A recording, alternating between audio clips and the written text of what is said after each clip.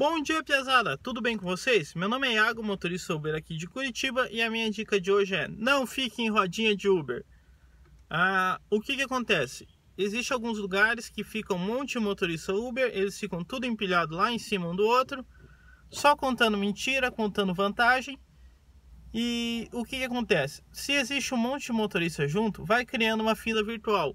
É, não vai ter dinâmica, porque tem um monte de carro junto e vai ser mais, vai demorar mais tempo para que você seja chamado, visto que os outros motoristas vão ter prioridade.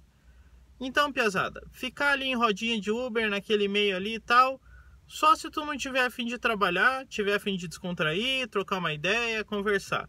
Mas 99% das vezes vocês vão estar perdendo o tempo de vocês.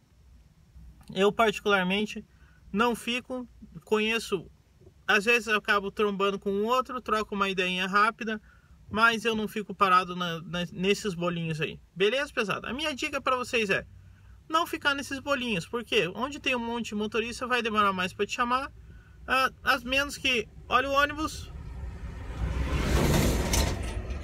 a menos que a menos que vocês tenham alguma dúvida, queiram conversar, queiram trocar uma ideia, às vezes um motorista mais experiente que vocês, mas a maioria das vezes vocês só vão ouvir besteira, ouvir mentira, o cara falando que ganha é, 500 reais por dia, que pega um monte de mulher, que é isso, que é aquilo, que o carro dele faz não sei quantos mil quilômetros por litro, que vapor de gasolina é bom. Enfim, é, não fiquem nessas rodinhas, não fiquem nesses grupinhos, não vai ser legal para vocês. Beleza, pesada? É isso aí minha dica de hoje. Ah, se estão gostando dos vídeos, deixa aquele like. Se tem alguma dúvida, deixa um comentário. Ah, quer ser motorista Uber, quer ser entregador Uber Eats, é o primeiro link. Quer ser motorista 99 Pop, tem o link aí embaixo também. Se tiver alguma dúvida, alguma coisa, é só me escrever e a gente conversa. Beleza, pesada? Estamos aqui para crescer junto para nos ajudarmos. Valeu!